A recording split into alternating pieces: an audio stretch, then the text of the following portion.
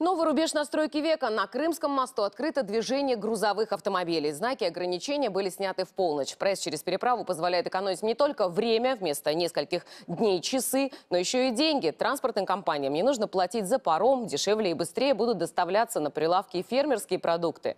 О событии, которого ждали на двух берегах. Виталий Катченко. Все, дождались мы открытия моста, пойдут фуры, гораздо быстрее будем добираться.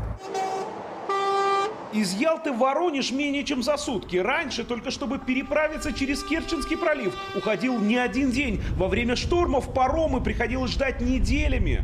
Позавчера я переправлялся, у меня заняло в 9 часов, я стал в отстойнике, купил билеты, переправился я в 4 вечера. Опоздал на разгрузку, а через мост, я думаю, ну в течение получаса мы будем проходить как бы пролив. То есть это существенно сократит сроки доставки, соответственно и стоимость. На стоимость повлияет очень сильно. Трассу А-290 из Крыма в Краснодарский край обратно недаром называют дорогой жизни. Вы только посмотрите, какое количество грузовиков выстроилось в очередь для того, чтобы в числе первых проехать по Крымскому мосту. Очередь растянулась на несколько километров.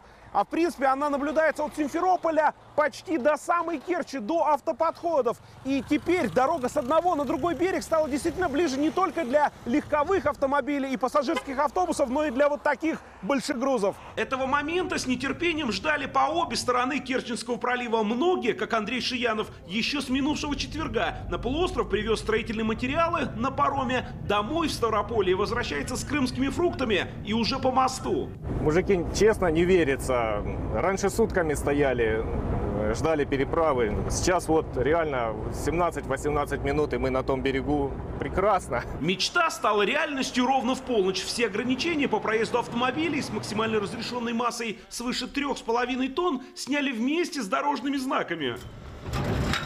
На Таманском берегу инспекторы ГИБДД предлагают дальнобойщикам Крымский мост попробовать на вкус, прежде чем по нему проехать. Товарищ водитель, приглашаю вас к столу угоститься тортиком «Крымский мост». Украсив кабины воздушными шарами, грузовые потоки одновременно двинулись с обеих сторон. Покрытие идеальное. Пока вот душа поет, радуется. Вот самый волнительный момент. Въезжаем под арку. Вот пошли грузовики из Тамани навстречу. Посигналим, пусть простят нас ГИБДД.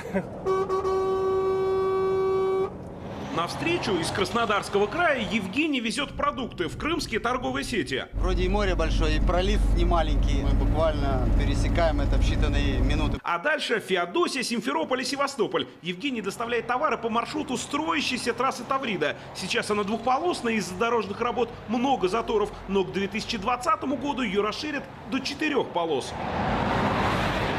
Новый маршрут экономит не только время, но и деньги. Транспортировка фуры по морской переправе в обе стороны обходилась почти в 40 тысяч рублей. По мосту проезд бесплатный. Это большие деньги, которые грузоперевозчик отдавал за паромную переправу. Теперь эта стоимость перевозки будет убрана со стоимости фрактов. Теперь и доставка будет быстрее, и логистика будет совсем по-другому. И грузы будут доставляться правильно. Крымские фермеры рассчитывают, что вместе с открытием грузового движения по мосту откроются и новые рынки сбыта. Фрукты и овощи можно будет доставлять дешевле и точно в срок. Мы выращиваем свою продукцию, мы не могли ее никуда сбыть. У нас она пропадала.